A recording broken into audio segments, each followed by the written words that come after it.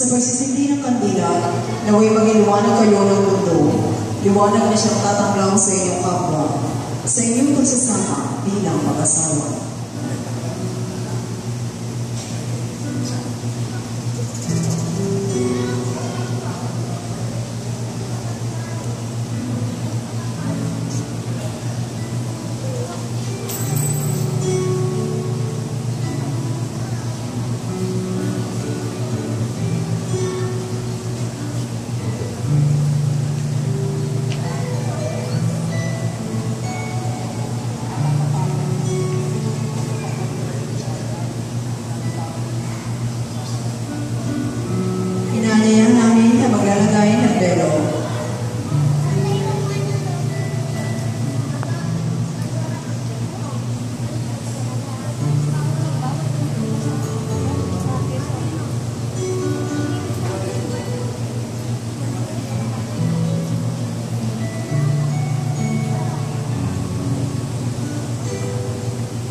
Sa paglalagay ng belo, naway sumilong kayo sa batas ng mananasimbahan at magkasama sa hirap at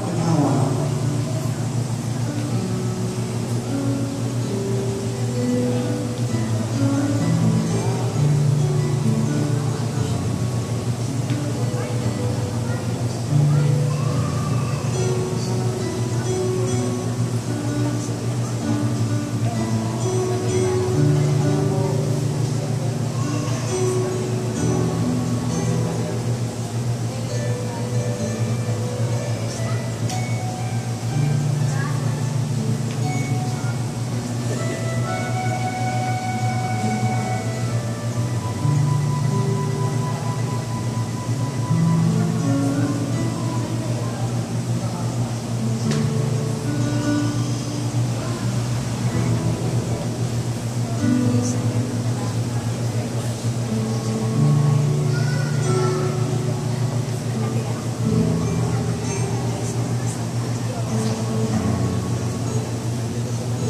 llamen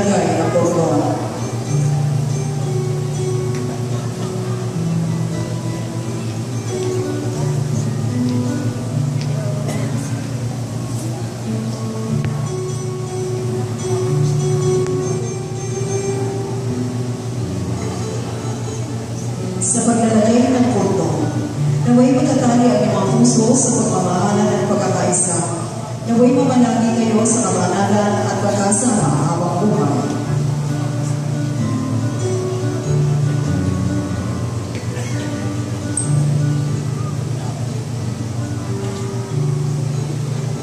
Ngayon po gagawin natin kina Jubel at Chandon ang bendisyon na sakramento ng kasal.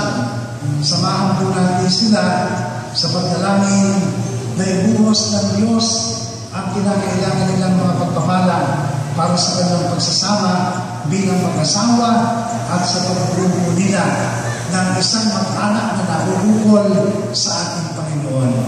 Hinanayahan po natin ang lahat, tumayo po kayo.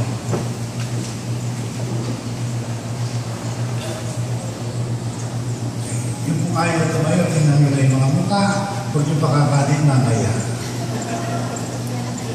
Lalahat po natin ang ating kanang kamay patungo sa mga ulo